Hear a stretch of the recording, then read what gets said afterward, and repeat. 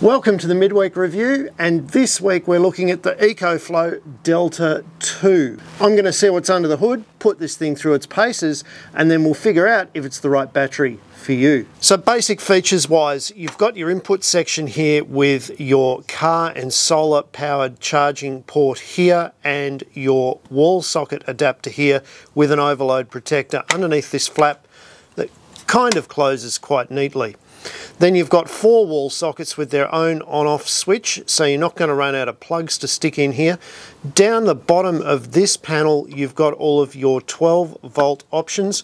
So you've got a 12 volt socket for a car fridge, and two of those little 12 volt sockets that take those things with pins that you can never find the so that's kind of handy. Swinging it round to the other side, we've got all our USB ports and our main display. So you've got two USB-A, two fast charge USB ports, two USB-C ports with up to 100 watts of output and they've also got their own on-off switch and then there's the on-off switch for the whole unit. With fan ports on either side we've also got on this side an extra battery port so you can plug in extra batteries and increase not the output of this unit but the storage capacity. It's like putting extra water tanks on your house. As usual, you get a little accessories pack and you get some mints. These are the do not eat throwaway flavour. And you get three cords. You get an adapter cord for your car, you get the 12 volt adapter cord, and you also get your wall socket. Charging wise, they recommend you use their cable, plug it directly into the wall, That should be charged in 50 minutes. That's a pretty high input, making it about the fastest in its class.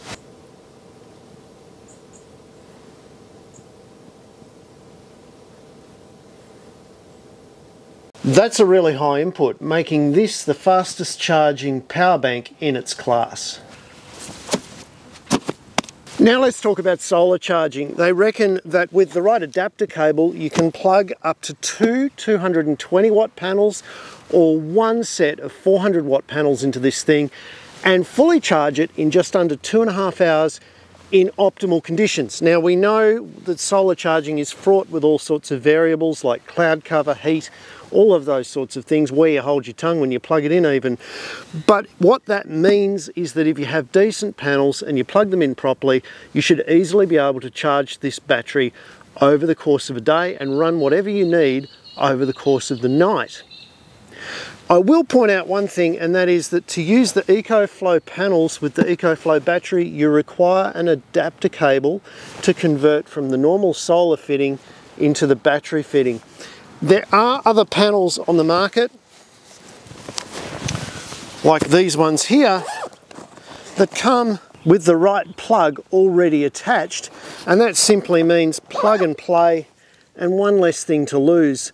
I'd like to encourage these battery companies to think about simplifying their product a bit more and not relying so much on so many adapter cables because they are seriously just one more thing to lose.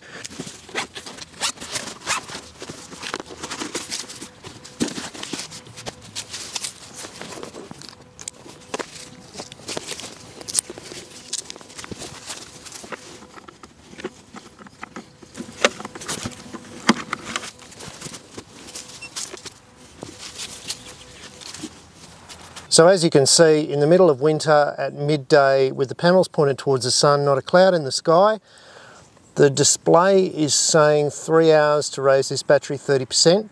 Look, that's not really too bad, and I think that number will come down a bit, but it's important when you're talking about solar generation of power to be realistic, a lot of people tend to overstate their claims. Under the bonnet, it's got 950 watt hours of capacity, and that's based on 12 volts at 80 amp hours.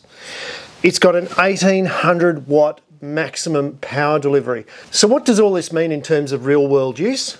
I can charge this thing 89 times. I can charge this thing here 16 times. I can run this constantly for 24 hours. I can run that for two and a half days.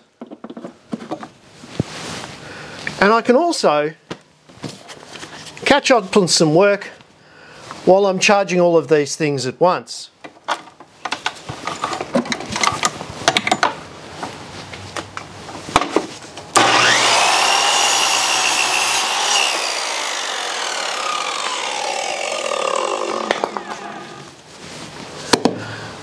So I couldn't blow it up, even though I'm charging all of these devices, running a fridge, running a light, and using a circular saw all at the same time. Obviously, if you're running all of these devices at the same time, those figures are going to differ dramatically. They were based on individual use.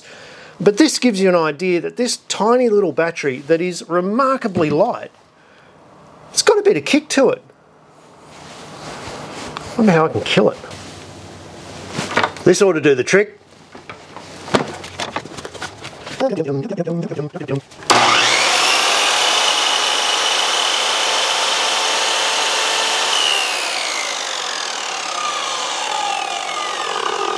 is getting frustrating. So I think the message here is if you work like an Italian bricklayer and you've got everything plugged in at once and you want to keep your beer cold, this is probably the smallest, most powerful, fastest charging battery I've come across and with unreasonable use, I still couldn't kill it. Now the next part about this power bank is obviously that it can be controlled by an app. I hadn't used the EcoFlow app since I reviewed the last EcoFlow, and in that time it forgot who I was, so I had to go through the whole process of logging in again. So from start, it takes about two to three minutes to get into the app. The good news is as soon as you turn Bluetooth on and get near this, there's no codes to scan or anything. It just recognizes the device straight away.